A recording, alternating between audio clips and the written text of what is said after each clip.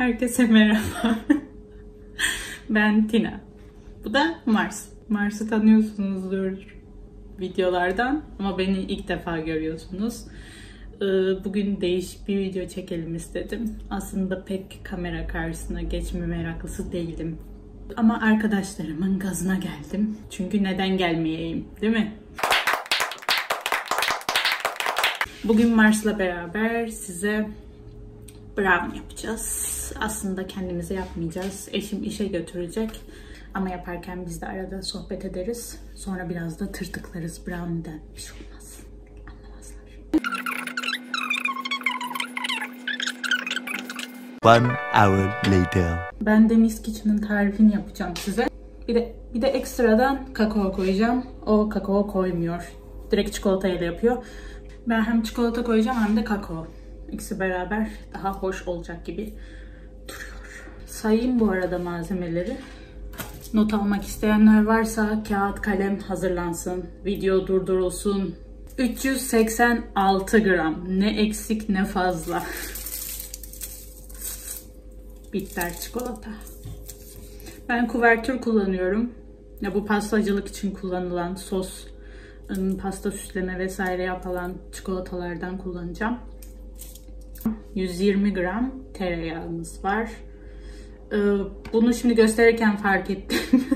bu tuzluymuş. Yarı tuzlu. O zaman bunu değiştirelim. Bu normal bir tereyağı. 120 gram tereyağı. Bunu eriteceğiz. İçine çikolataları koyacağız. Hep beraber eriyecekler. Bu arada kendime içecek aldım. Cam pipet. Cam pipet kullanıyoruz. Doğayı seviyoruz. Ne yapıyorduk? Malzemeleri sayıyorduk ya. Dur devam edin. 4 yumurta. Tadam. Bu kutuyu ben Noel'de değil. Ne zaman aldım? Paskalya'da. Paskalya'da aldım evet.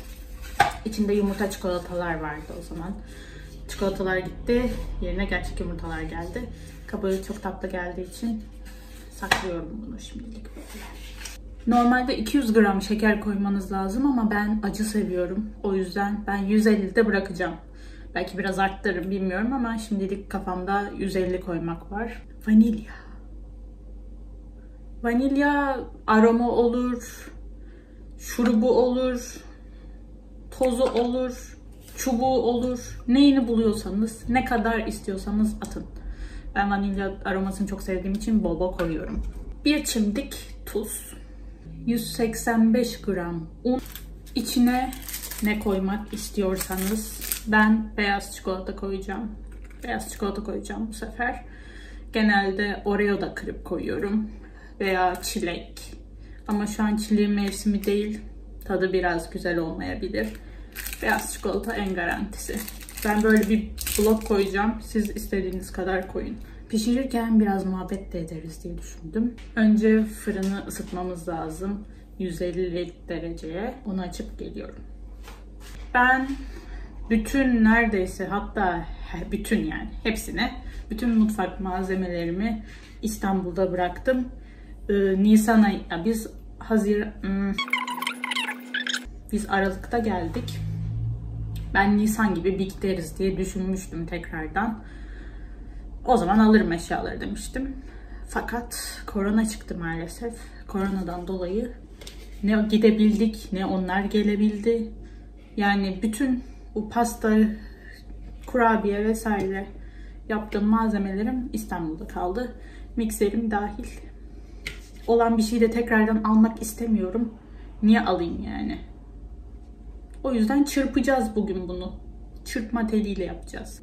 Öncelikle şeker ve yumurtaları çırpacağız. Ama öncesinde e, tereyağıyla çikolataları eritelim. Bir kenarda bırakalım onları. Şimdi tereyağımızı eriteceğiz.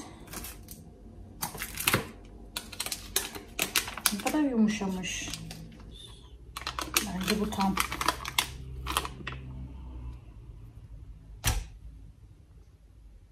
Ne dedim? Ne dedim size? Bak tam.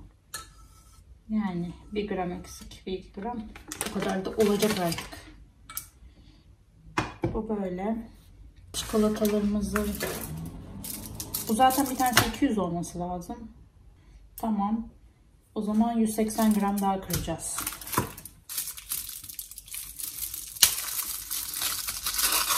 Orada erirken biz de şeyden bahsedebiliriz. Bu YouTube'a ben niye girdim? YouTube'da ne işim var? Hmm, aslında ben pek YouTube izleyen biri değildim. Ama bir kanal vardı YouTube'da. Dedim yani o beni YouTube'a bağlamıştı öyle söyleyeyim. Bu ASMR videoları çıktığı zamanlar bir kanal vardı. Onu çok izliyordum. Hala var. Ee, Munchies ASMR Türkçe diye. Şuraya kanalı bırakıyorum ya da buraya mı olacak? Bilmiyorum işte. Bu taraflardan birine bırakacağım. Altta açıklamalara da yazarım. Kendisi yani Türkiye'de bence top en iyisi. Eğer ASMR videolarını izlemeyi seviyorsanız kanalına bir göz gezdirin derim. İşte onu izliyordum. Sonra bana bir heves geldi böyle. Dedim ben de mi çeksem acaba diye. Sonra dedim ben nasıl çekeceğim? Yemeğin başında nasıl bekleyeceğim? Nasıl yavaş yiyeceğim? Dedim ben yapamam. Yani yemek yerken gözüm döner. Kamerayı falan her şeyi unuturum. Dedim ben başka bir, bir şey düşüneyim. O ara bir de Kore videoları çok izliyordum. Kore videosu derken böyle günlük yaşamlarını, rutinlerini anlatan, anlatmayan aslında gösteren videolar var. Ee, mesela Ondo, Ondo Vlog. Onun videolarına sarmıştım. Dedim bari böyle bir şey çekeyim, ne yapayım yani. Yemek çekemem. Ee, günlük ne yapıyorsam onu çekeyim koyayım dedim. Ama asıl yani asıl sebebi kendime bir meşgale aramamdı. Meşgaleden kastım ben Aralık'ta buraya geleceğiz diye işten çıkmıştım. İspanyolca öğretmeniyim normalde. Ay mi amor, ay.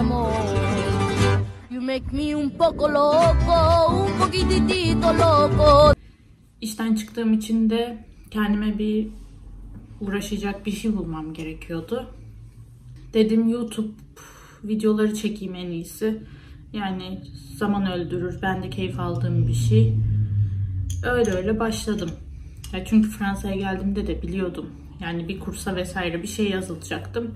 Anca öyle vakit geçecekti. Ama değil mi ki biz Aralık'ta geldik. Ocak'ta, Şubat'ta korona patladı.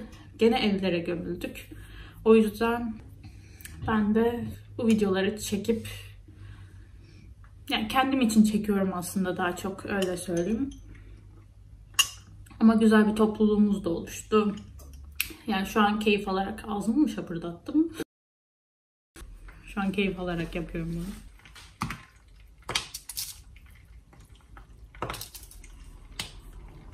Normalde tereyağı eridikten sonra atın diyorlar ama ben böyle tam bitmeye yakın atıyorum ya. Bir şey olmaz.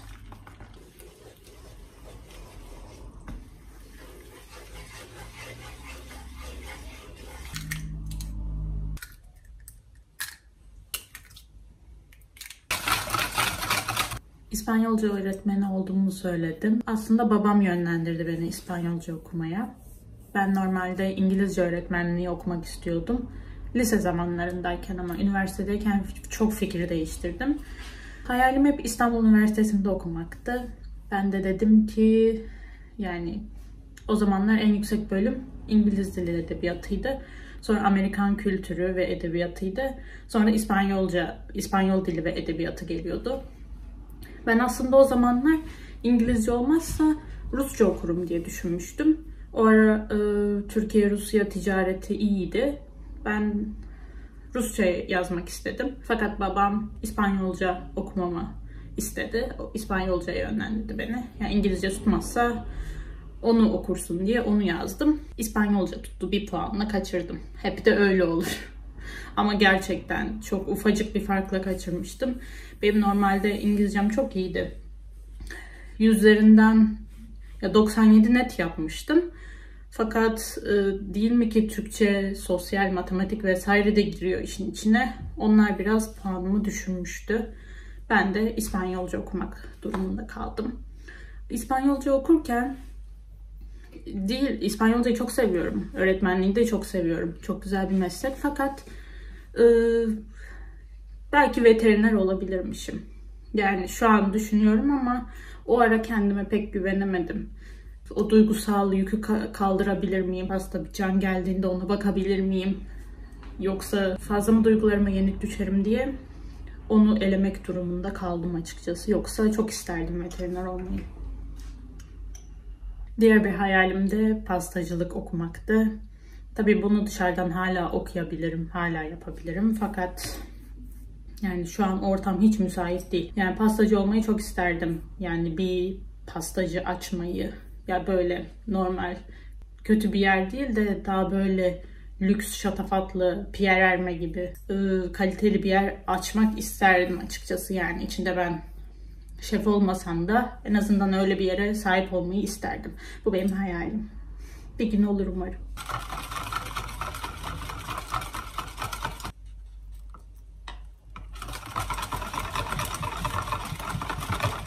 Vanilyayı normalde şekerle çırpmam gerekiyordu fakat unuttum konuşmaktan. Üzüldüm şu an. Neyse şimdi koysak bir şey olmaz yani. Şimdi kuru malzemeleri ekleyeceğiz. Kurudan kastım e, un ve tuz. Tabii bir de beyaz çikolatayı kırıp ekleyeceğiz. Karıştırıp fırına vereceğiz. Bir de kakao. Kakaoyu unuttum. Ben de diyorum bir şey daha var. Hiç söylemiyorsunuz.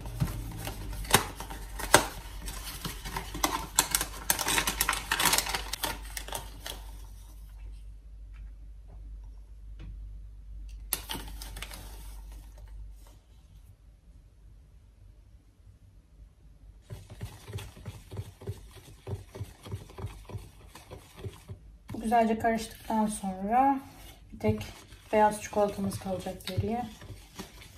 Şimdi beyaz çikolataları kıracağız içine.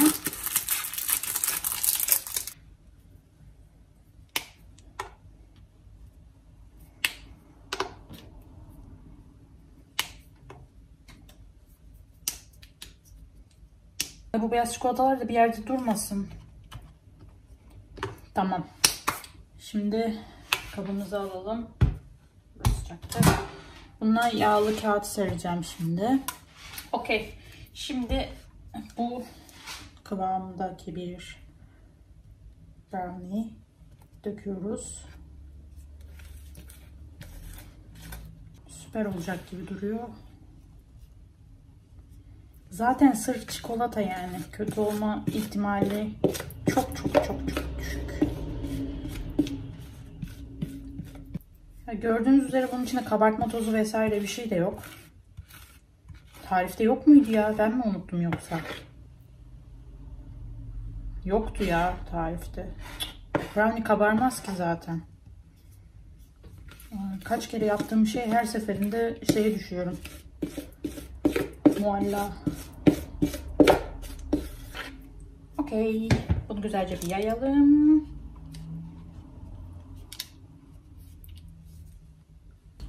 Brownie'miz pişti. Şimdi bakalım nasıl olmuş. Wow, grape. bir tane Pakistanlı şey var ya video hiç denk geldiniz mi bilmiyorum ama e, bir tane hoca var öğretmen yani şey yapıyor e, öğrencilerine Pakistan'la ilgili böyle güzel şeyler söyletiyor. Her seferinde wow grape diyor. O da bende kaldı ağzımda. Sürekli wow grape diyorum her şeye. Umarım unuturum bir gün. Evet, görüyor musunuz? Bence şahane oldu. Aslında size bilmediğiniz bir şey söyleyeyim. Benim normalde iki kedim var. 7 sene önce e, yanımıza aldığımız başka bir kedim daha var. Zeus. Onun da fotoğrafını şuraya, şuraya Mars dur çekil biraz koyalım. Şuraya koyuyorum. Buraya koydum. O da Zeus. Onu getiremedik o İstanbul'da. Çünkü o 10 kilo. Uçakta 8 kiloya kadar izin var yanınızda getirebilmeniz için. Yoksa bagajlarla beraber gidiyor. Gönlüm razı olmadı. Mamamda kalıyor. Ee, şimdilik öyle bakalım. Zayıflarsa getiririz belki. evet şimdi bunu keseceğiz beraber. Şurayı da üçe bölsek Üçe mi? Üçe böleyim ya. O kadar da ufak.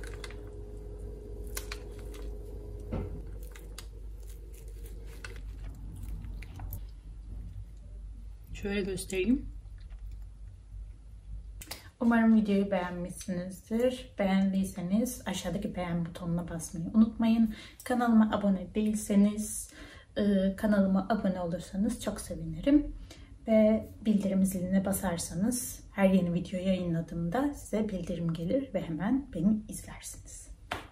Bir sonraki videoda görüşmek üzere. Kendinize çok iyi bakın. Bay bay. Ne konuşacağım bilmiyorum diye geldim ama çenem düştü. Demek ki konuşuluyormuş.